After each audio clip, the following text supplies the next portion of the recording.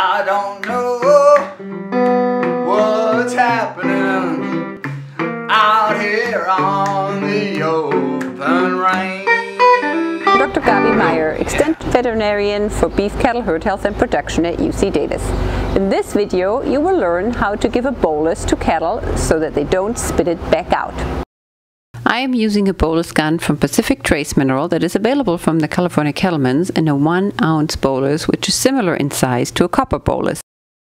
Write the ear tag number with a permanent marker on the bolus if you have to work through a group of cattle and give a lot of boluses. If one of them spits it out, you will know who it was. Also, putting a small amount of mineral oil on the bolus will help it go down easier. Make sure the plunger is pushed all the way back and then insert the bolus. What is important to understand is that you have to go all the way beyond this hump in the tongue of cattle without doing any damage. So you want to be firm without being aggressive.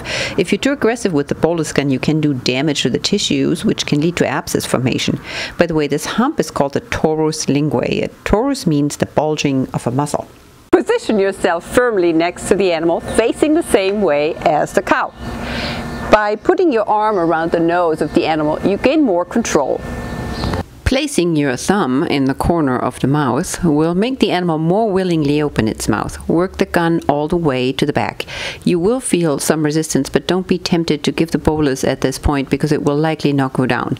Once you have the gun positioned all the way in, you can give the bolus. Some coughing is normal, but wait for a few seconds to make sure the bolus is not coming back out.